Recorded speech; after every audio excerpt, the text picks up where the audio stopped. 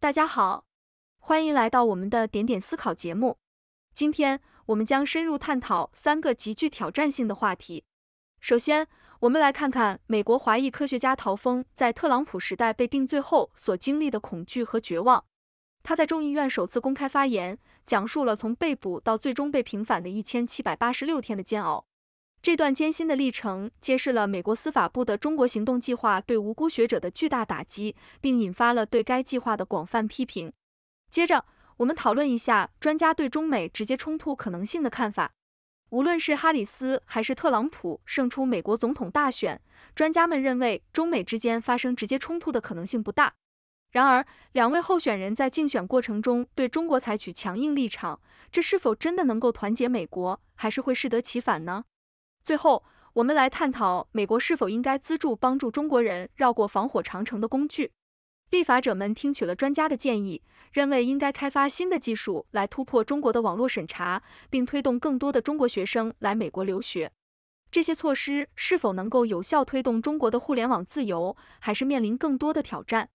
这三个话题都引发了广泛的关注和讨论，请大家继续收看详细内容。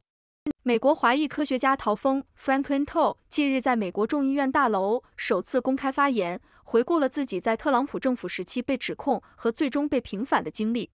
陶是大约二十多名学者之一，他们在美国司法部于二零一八年启动的中国行动计划中被指控。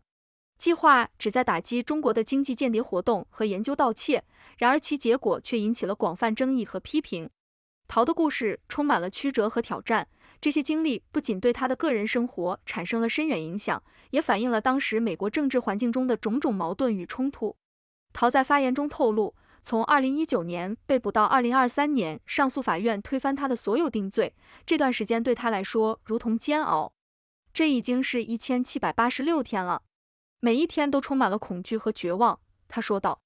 陶最初在2022年受审，面临八项电信欺诈和虚假陈述的指控。根据法庭文件，案件始于一名在堪萨斯大学访问的学者向联邦调查局 FBI 发送匿名举报，并冒充他人提出更多指控。尽管 FBI 没有发现间谍活动的证据，但他们发现陶可能接受了福州大学的第二份全职任命，并对堪萨斯大学隐瞒了这一事实。检察官表示，这些信息对资助其研究的联邦机构、能源部和国家科学基金会的决策相关。陶的胜利来得不易。但他表示这是一个苦乐参半的结果。我几乎失去了一切，我的学术生涯已经被摧毁。他补充说，这场斗争极其昂贵，他的法律费用高达二百三十万美元。陶的律师彼得·泽登伯格 （Peter Zeidenberg） 表示，他代表了数十名像陶一样的人，他们因在资助申请中的民事文件错误而被指控多项重罪。他们没有偷钱，他们没有转移资金。他们没有与任何不允许的人分享秘密，泽登伯格说道。这些案件的处理方式引发了对司法系统公平性的广泛质疑，也使得许多学者对美国的科研环境产生了不信任。在拜登总统领导下的司法部于二零二二年结束了中国行动计划，原因是多次起诉失败和批评该计划抑制了研究，并加剧了对亚裔的偏见。然而，这并没有完全平息争议。近几个月来，立法者和倡导团体反对恢复该计划的努力，包括一项最终被删除的众议院共和党资金法案。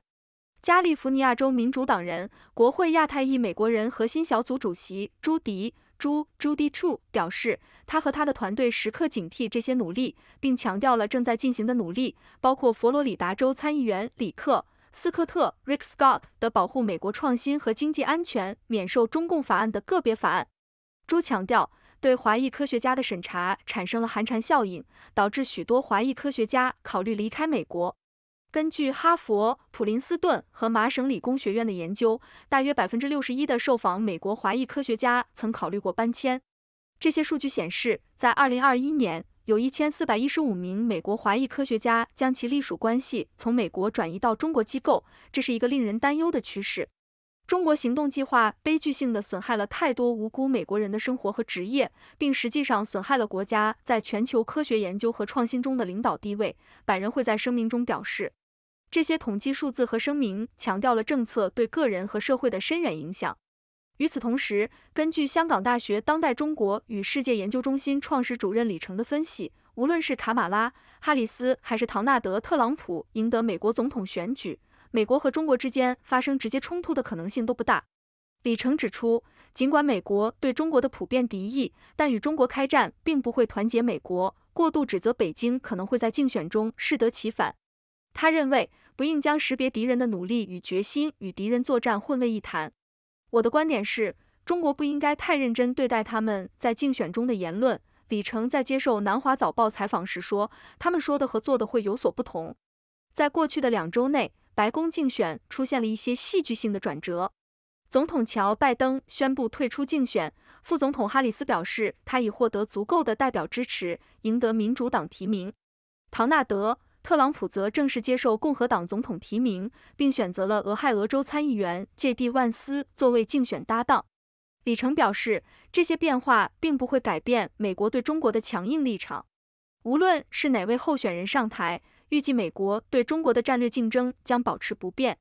然而，李成也指出，党内和共和党与民主党之间在应对中国的最佳策略上存在很多分歧。李成还强调，美国选民不太可能欢迎与中国开战的想法，也不会接受将美国所有问题归咎于中国的企图。有时候，唐纳德。特朗普赞扬中国其实很受欢迎，他们只是认为我们做的太差，将一切都归咎于中国只会显示你的无能。他说，美国人并不那么愚蠢，他们知道这种叙述有时过于偏颇。与中国开战会团结美国吗？不会。将中国视为敌人会团结美国吗？也许，但失败的机会更高。美国应资助帮助中国人绕过防火长城的方法。立法者听取了来自各方的建议。加州大学伯克利分校的中国数字时代 （China Digital Times） 创始人肖强在美国众议院中国问题特别委员会作证时，倡导国会资助开发新的绕过技术和去中心化的人工智能工具，以帮助中国人民克服北京的防火长城。肖强说：“中国共产党正在向世界提供建立数字集权国家的蓝图。”并对世界和平构成真正的威胁。我们必须团结一致，捍卫和维护国内和全球的自由和尊严。开放技术基金 Open Technology Fund 高级副总裁纳特·克雷奇恩 （Nat c r e t c h e n 表示，中国共产党不仅在建造更大的防火墙，还在进行一个更雄心勃勃的项目，建立了多层自我增强的技术和社会控制。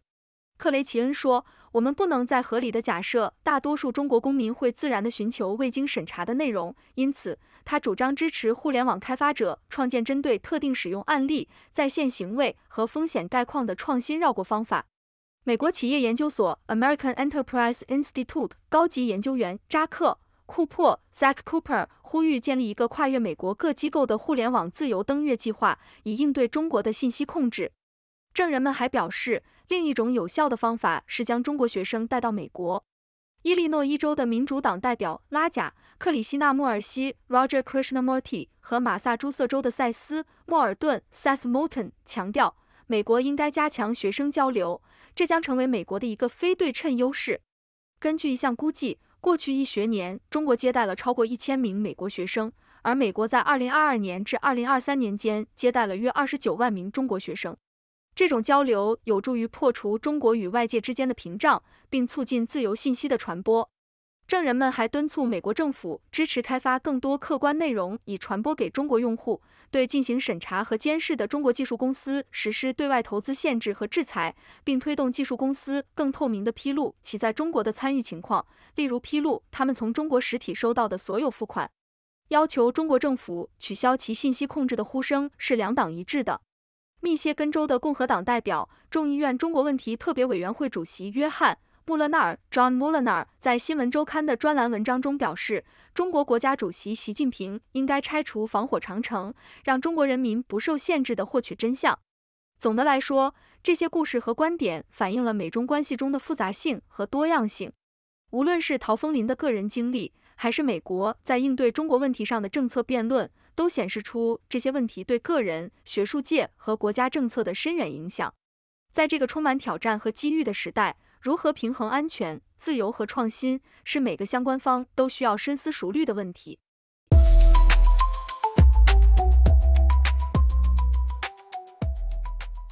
请大家继续收看节目第六度百科，对关键内容进行背景介绍。被平反的华裔科学家陶风林 （Franklin To） 于周二在美国众议院大楼首次公开发言，讲述他在二零一九年因隐瞒与中国大学的关系而被捕的经历。这已经是一千七百八十六天了，每一天都充满了恐惧和绝望。他说道：“从被捕到美国上诉法院在七月十一日推翻他的定罪，这段时间对他来说如同煎熬。”陶是大约二十多名学者之一，他们在美国司法部于二零一八年启动的中国行动计划中被指控，该计划旨在对抗涉嫌的中国经济间谍活动和研究盗窃，并在前总统唐纳德·特朗普的政府期间启动。陶在由国会亚太裔美国人核心小组和美国华人联合会共同主办的活动上发言。这位五十二岁的化学工程师表示，他的直接希望是回到堪萨斯大学。该校在他于二零二二年被判四项罪名后将他解雇。当年晚些时候，一名地方法官推翻了其中三项与电信欺诈有关的罪名，理由是缺乏证据显示他因在中国福建省福州大学的工作而获得金钱或财产。然后本月早些时候，丹佛的一家上诉法院推翻了最后一项关于做出虚假陈述的罪名。法院表示，陶未能告知其大学，他与中国大学的关系对任何联邦资金决策没有实质性影响。陶最初在二零二二年受审，面临八项电信欺诈和虚假陈述的指控。根据法庭文件，陶的案件始于一名在堪萨斯大学访问的学者向联邦调查局 （FBI） 发送匿名举报，并冒充他人提出更多指控。FBI 没有发现间谍活动的证据，但发现陶可能接受了福州大学的第二份全职任命，并对堪萨斯大学隐瞒了这一事实。检察官表示，这些信息与资助其研究的联邦机构能源部和国家科学基金会的决策相关。陶在周二表示，他的胜利是苦乐参半的。我几乎失去了一切，我的学术生涯已经被摧毁。他补充说，这场斗争极其昂贵。他的法律费用高达二百三十万美元。陶的律师彼得·泽登伯格 （Peter Seidenberg） 周二表示，他代表了数十名像陶一样的人，他们因在资助申请中的民事文件错误而被指控多项重罪。他们没有偷钱，他们没有转移资金，他们没有与任何不允许的人分享秘密。他说。拜登总统领导下的司法部在二零二二年结束了中国行动计划，原因是多次起诉失败和批评该计划抑制了研究，并加剧了对亚裔的偏见。尽管该部表示将继续追究中国构成的国家安全威胁案件，近几个月来，立法者和倡导团体反对恢复该计划的努力，包括一项最终被删除的众议院共和党资金法案。加利福尼亚州民主党人。国会亚太裔美国人核心小组主席的朱迪朱 Judy Chu 周二表示，他和他的团队时刻警惕这些努力。朱强调了正在进行的努力，包括佛罗里达州参议员里克斯科特 Rick Scott 的保护美国创新和经济安全免受中共法案的个别法案，以及试图将该计划附加到更有可能通过的大型立法中的尝试，对华裔科学家的审查产生了寒蝉效应。哈佛、普林斯顿和麻省理工学院的研究人员从2021年12月到2022年3月进行的一项研究发现，在1229名美国华裔科学家中，大约百分之六十一曾考虑过搬迁。同一研究发现，2021年有一千四百一十五名美国华裔科学家将其隶属关系从美国转移到中国机构，比2020年增加了近百分之二十二，是2011年的三倍多。该研究还指出，2011年至2020年间，亚裔美国科学家申请国家科学基金会资助的数量下降了百分之二十八，而整体下降了百分之十七。由于少数定罪和多次驳回，中国行动计划悲剧性的损害了太多无辜美国人的生活和职业，并实际上损害了国家在全球科学研究和创新中的领导地位。一个由著名华裔美国人组成的无党派组织百人会表示。为帮助支付陶的法律费用，已设立了一个 GoFundMe 账户。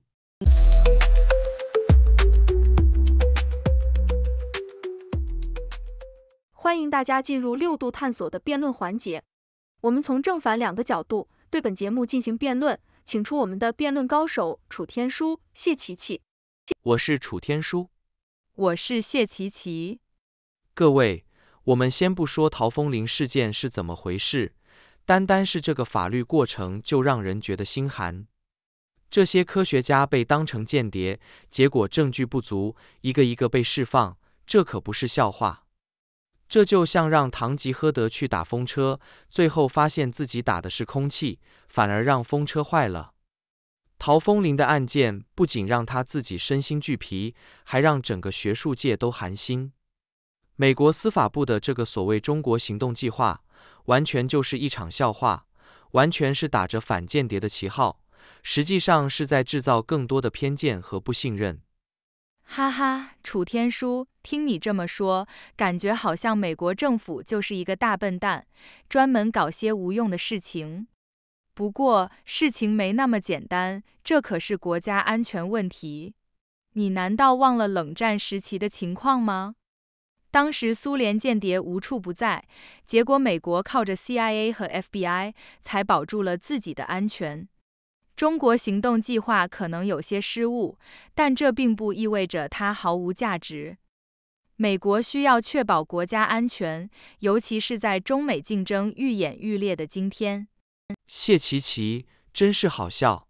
你提起冷战，难道我们要回到那个人人自危的时代吗？这么说吧。冷战时期的苏联间谍行动确实让人胆战心惊，但现在是二十一世纪，信息透明化了，国际合作多了，这不是简单的复制粘贴。你看陶风林的案件，根本没有找到间谍活动的实质证据，反而因为这些无谓的指控，损害了美国的科研环境。这么搞下去，难怪大批华裔科学家要离开美国，这不是自掘坟墓吗？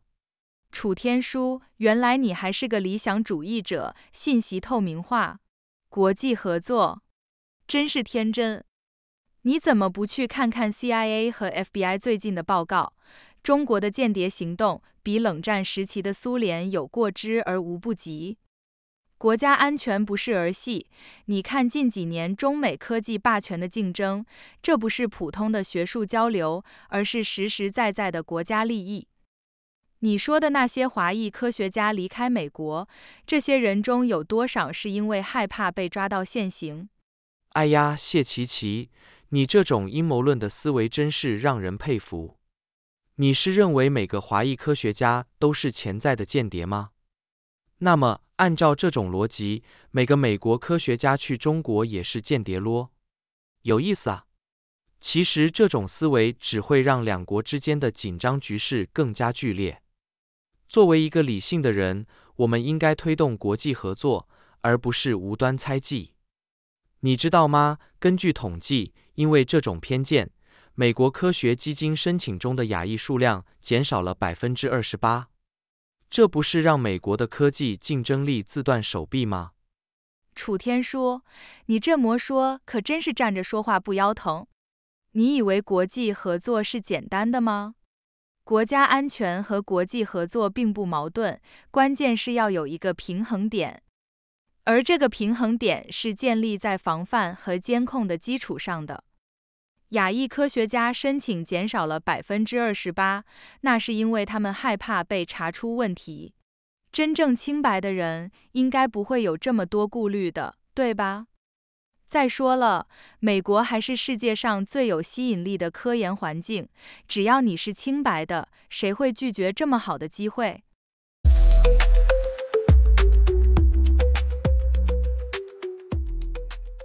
请大家继续收看节目的六博士的分析评论。哇哦，这一期内容可谓是情报满满，让我们一起来看看到底发生了什么。首先，我们来看看华裔科学家陶风林的故事。陶风林的经历可谓是大写的悲剧，从二零一九年被捕到最近才被平反，陶的日子过得真是苦不堪言，每天都在恐惧和绝望中度过，还花了两百多万美元的法律费用，这可不是小数字啊！而且他还被堪萨斯大学解雇，学术生涯几乎被毁。这就好比你玩王者荣耀一样。眼看就要上王者了，结果网络断了，还被封号，简直让人崩溃。然而，在这背后，其实还有更大的问题。这一切都源于美国的中国行动计划。这计划是为了对抗所谓的中国间谍活动和研究盗窃，但实际上却让不少无辜的华裔科学家背了黑锅。这就像是你班里有个同学作弊，结果全班同学都被罚抄书，冤不冤？而且这个计划还引发了寒蝉效应，很多华裔科学家考虑离开美国，这对美国的科研环境绝对是个打击。总之，这计划真的是丢了西瓜捡芝麻。得不偿失啊！接下来我们谈谈美国选举和中美关系。无论是哈里斯还是特朗普这两位大人物，在对华政策上都很可能会保持强硬，但直接冲突可能性不大。这就好比你和同桌吵架，谁也不会真的掀桌子，最多就是互相冷嘲热讽。李成指出，美国内部对中国的敌意并不会让美国更团结，反而可能适得其反。这话说的有道理，毕竟中国问题在选举中的优先级并不是最高，选民更关心的是自己的口袋和工作。值得注意的是，特朗普和他的竞选搭档巨地万斯在对华政策上的立场也有些微妙的差异。万斯抨击中国进入世界贸易组织，这可有点儿过火了。李晨建议万斯要小心点，可不要成了借花献佛，弄巧成拙。不过，这些竞选言论大多只是做做样子，真到了执政，可能就不是这么回事了。这就像是演戏，有些台词是为了哄观众的，不必太当真。最后，我们来看看美国如何应对中国的防火长城。肖强和其他专家建议，美国应该资助开发绕过中国网络审查的技术，这可真是科技救国的典范。中国的防火长城让很多外国网站无法访问，这让中国网民真是网络孤岛的居民啊！美国在这方面的投入还远远不够。不过，证人们也指出，除了技术工具之外，把中国学生带到美国也是个好办法，让他们见识见识外面的世界。总之，这期内容涉及到的问题可谓是方方面面，从个人悲剧到国际政治，再到科技与人权。每一个议题都值得我们深思，无论是陶风林的个人经历，还是美国对华政策，都是一场场充满挑战和机遇的大戏。让我们拭目以待，看看未来会怎么发展吧。